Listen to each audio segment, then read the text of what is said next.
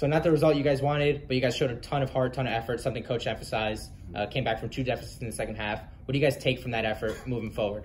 I mean, uh, I think I think we did well the whole game. Um, you know, the main thing I'm really happy about is our mentality. Uh, we, you know, obviously we were 2-0 down in the first half, but uh, we had like a strong mentality and we came out and we just fought to the end, to the end of the whistle. And you know, carrying it into next game, I think I think we'll have the momentum to, to do well. Awesome.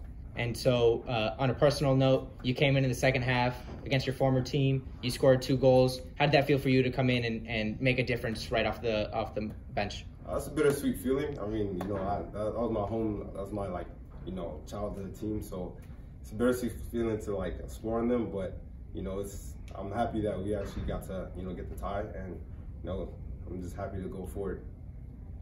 And now you guys have to turn around real quick get back to it this Sunday against Orlando. Mm-hmm. What's the mindset now, uh, flipping the switch and getting right into it for, for another game just a few days away? Uh, kind of just reflect on this game. Um, we're going to take the off days to reflect on it. And, you know, for the next game, we're going to take the same momentum that we had, you know, finishing out the 90 minutes. And we're just going to carry it into next week.